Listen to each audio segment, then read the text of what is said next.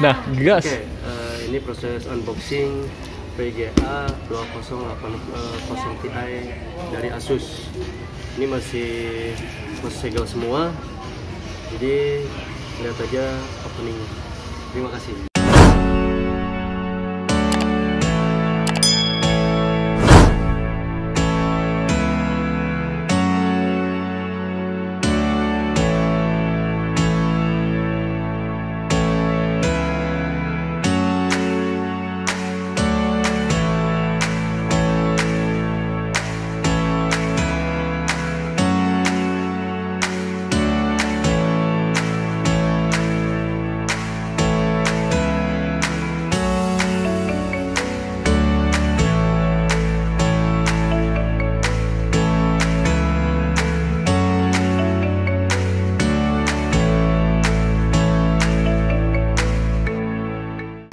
Ya guys, pertama-tama di sini ada dus.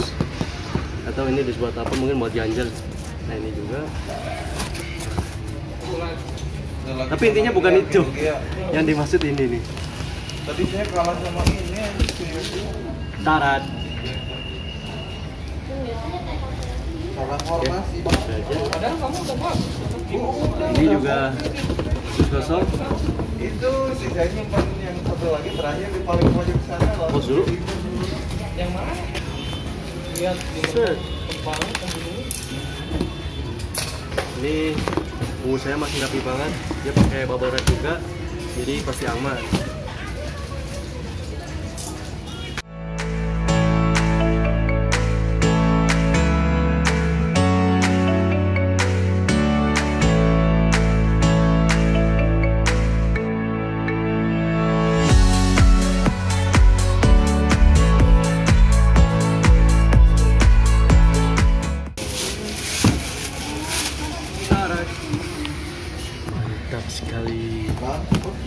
Eh,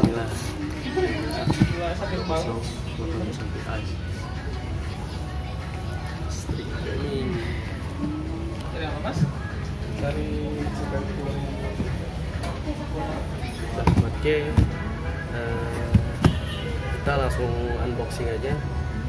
Sebelum unboxing di sini ada ROG Strix Gaming 2080 Ti 11 GB OC Edition. Ini ada tiga fan row. Jadi kalau kita kesemprot AC eh kipasnya juga mungkin masuk angin sih. Ya seperti itulah. Terus nah di ini fitur-fiturnya. Eh, jadi si pendinginnya udah ada head nya banyak banget. Pasti dingin. Terus fan. Jadi ada tiga. Di sini eh, ini ada tombol buat RGB-nya. Jadi kalau yang nggak suka ada lampunya, tinggal klik aja tombolnya dia mati. Tapi fan tetap muter. Nah kalau di sini ini ada GPU tweak. Jadi kalau kita mau OC atau mau atur fan-nya dari sini kita ada. Oke gitu aja, kita langsung unboxing aja. Kita sabar. Oke. Nah ini masih segel.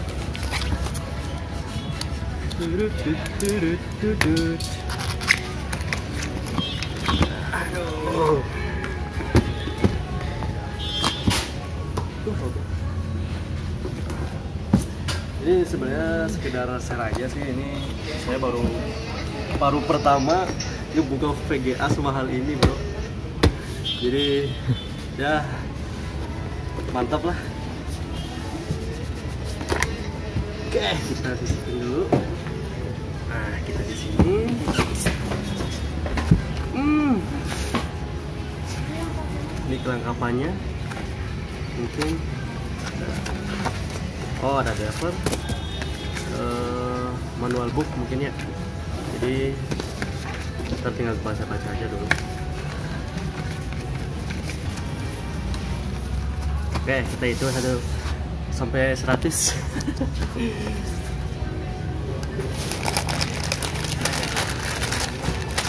ah ini, ini penampakannya dari sejauhnya ini benar-benar mantap lah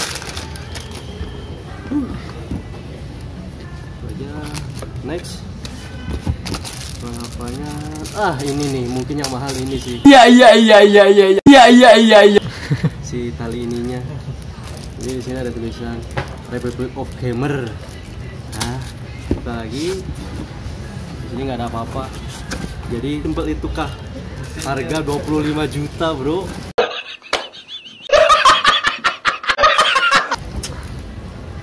Kirain ada kulkas mungkin. Ada dispenser. Ternyata cuma Vega doang. Eh, ntar kita lagi pemasangannya ya. Terima kasih.